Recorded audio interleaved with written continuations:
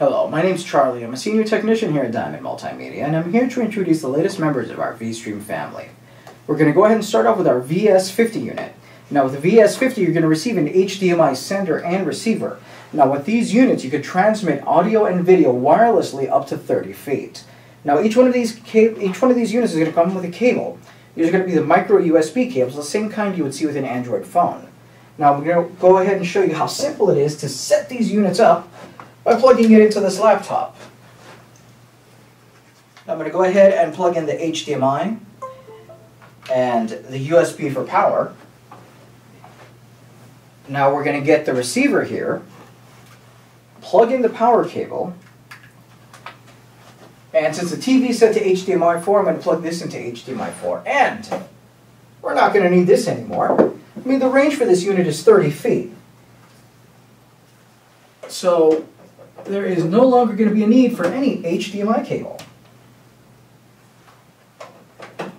Okay, now that we've had now that we've had both these units connected, let me go ahead and introduce our VS100. Now this unit is like the VS50. The only thing is the range on this unit is 150 feet. And then behind it we have our VS300M. Now the range for this unit is also 150 feet, but the main difference is you can have multiple TVs, multiple projectors, multiple devices connected to one source, to one sender. Now here we have video. I'll go ahead and press play here. And we're going to be receiving, there it is, audio and video being transmitted wirelessly from the laptop to the TV. And if you keep an eye on the images, there is almost no delay here. But let's say you don't want to go ahead and connect it to a computer. You want to go ahead and connect it to your set-top box, to your, to your satellite box, and the TV is far away, and you don't want to go ahead and get a long cable. Well, the beauty of this unit is you need no software whatsoever. Right here I'm going to demonstrate with our digital to analog converter that you can go ahead and plug it in. All you need is an HDMI connection and a USB connection. The great thing about the USB is you can use a power bank, you can use a cell phone charger, anything that could power a USB will power this unit. Now I'm going to go ahead and use our HDMI extender and you do get a pair of these with a kit. So let's go ahead and plug this in. And then we're going to go ahead and give it a few seconds for our digital to analog converter box, this box gets a signal from over the air, trans transmits it to digital, and it's going to go straight to the TV.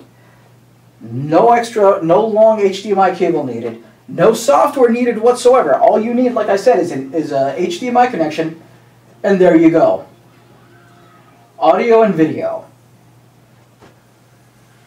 But then again, let's say you're a gamer like me you have your Xbox One, your PS4, or in our case, we have a Nintendo Switch here. We're going to go ahead and plug the VS50 into the Nintendo Switch.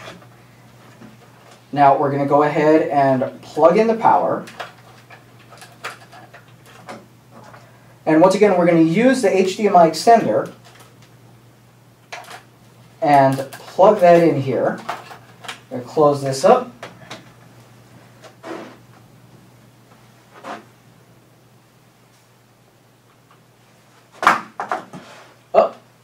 There we go.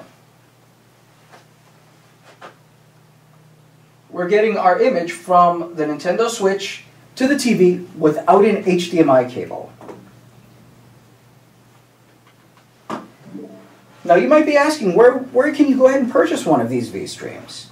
Well, the great thing is you can order them online from retailers like Amazon, or you can go to our website directly to order from us, diamondmm.com. And should you have any questions, you can go ahead and contact us there as well. We'll be more than happy to help you.